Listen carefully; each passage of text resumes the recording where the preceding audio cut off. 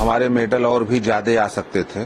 जो छह मेडल भारत देश को आए हैं छह मेडल अकेले कुश्ती ला सकता था। कुश्ती पिछले 18 15 16 महीने जो डिस्टर्ब रही, उसकी वजह से इतना मेडल नहीं आ पाया।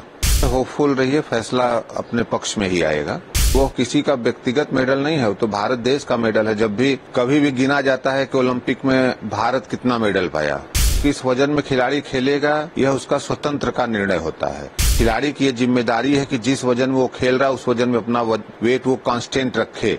अगर उनके साथ जानबूझकर ये किया जाता तो उन्होंने जो फिजियो मांगा, उनको दिया गया, जो स्पार्किंग पार्टनर मांगा, वो दिया गया, जो डॉक्टर मांगा, वो डॉक्टर उनको दिया गया।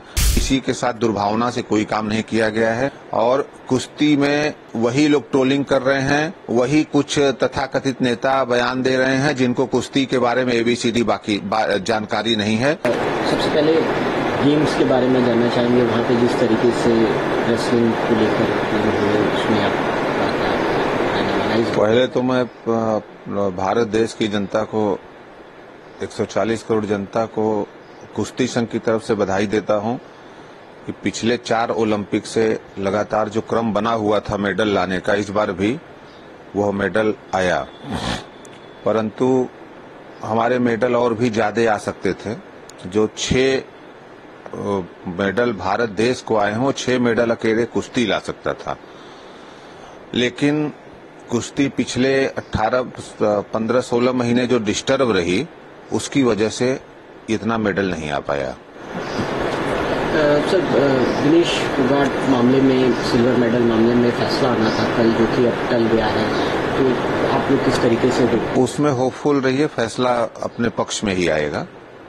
तो कुछ कारण से उन्होंने डेट बढ़ा दिया। कारण क्या दिया नहीं किस कारण से बढ़ाया है ये नहीं बताया लेकिन लगातार हाँ लगातार फिर डेट सोलह तारीख का कर दिया है। सर भारतीय कुश्ती संघ इस मामले में क्या सोचता है जो सिल्वर मेडल को लेकर एक ट्रोलिंग और एक इश्यूज़ जो है उसको लेकर भारतीय कुश्ती संघ क्या चाहता है या क्या? नहीं भारतीय कुश्ती संघ तो चाहता है कि वो किसी का व्यक्तिगत मेडल नहीं है वो तो भारत देश का मेडल है। जब भी कभी भी गिना जाता है कि ओलंपिक में भारत कितना मेडल पाया तो भारतीय कुश्ती संघ भी चाह रहा है कि वो मेडल मिले। बाकी जो कंट्रोवर्सी हुई उसमें भारतीय कुश्ती संघ नहीं जाना चाहता। है तिरपन किलो विनेश फोगाट को तिरपन किलो में खेलना चाहिए था लेकिन उन्होंने खेला पचास में। इसको लेकर भी बहुत सारी बातें। खे, खेलना किस वज़न में खिलाड़ी खेलेगा यह उसका स्वतंत्र का निर्णय होता है। लेकिन निर्णय लेने से केवल नहीं होता है खिलाड़ी की यह ज़िम्मेदारी है कि जिस वज़न में वो खेल रहा है उस वज़न में अपना वेट वो कांस्टेंट रखे। बार बार वज़न घटाना। खिलाड़ी के शारीरिक स्वास्थ्य पर भी नुकसान करता है।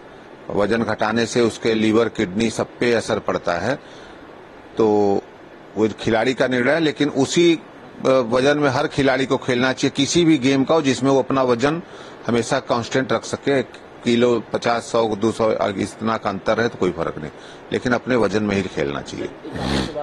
जिस तरीके को लेकर जब ये मैच पेरिस ओलंपिक चल रहा था तब एक ट्रोलिंग चल रहा था कि जिस तरीके से दिनेश फोगाट प्रदर्शन में शामिल नहीं इस चीज़ों को लेकर उनके साथ ऐसा किया जा रहा है एकदम रचनात्मक में मतलब जानबूझ के ऐसा उनके साथ किया जा रहा है। अगर उनके साथ जानबूझकर ये किया जाता तो उन्होंने जो फिजियो मांगा उनको दिया गया जो स्पार्किंग पार्टनर मांगा, वो दिया गया। जो डॉक्टर मांगा, वो डॉक्टर उनको दिया गया। जो फैसिलिटी उन्होंने मांगी, उन्होंने कहा कि मैं हंगरी में ट्रेनिंग करूँगी, वहाँ हंगरी उनको भेजा गया, उनको विदेशी कोच के लिए, जिस पर्टिकुलर कोच के लिए कहा, उसको दिया गया। अगर इस तरह की कोई किसी के साथ दुर्भावना से कोई काम नहीं किया गया है, और कुश्ती में वही लोग ट्रोलिंग कर रहे हैं वही कुछ तथाकथित नेता बयान दे रहे हैं जिनको कुश्ती के बारे में एबीसीडी बाकी बा, जानकारी नहीं है। पहले वो जानकारी दुरुस्त कर लें कि कुश्ती की क्या होता है क्या उसमें नियम है कैसे वज़न होता है क्या सारी कुछ की जानकारी कर लें और कैसे कुश्ती यूडब्ल्यूडब्ल्यू के कुश्ती का नियम लेकर के पढ़ लें उसके बाद बैठ करके टीवी पे बयान दें या कहीं भी बयान दें। बयान जारी कर देना बहुत आसान होता है लेकिन बिना नियमों को जाने। ऐसा बयान नहीं देना चाहिए। देखा गया कि वही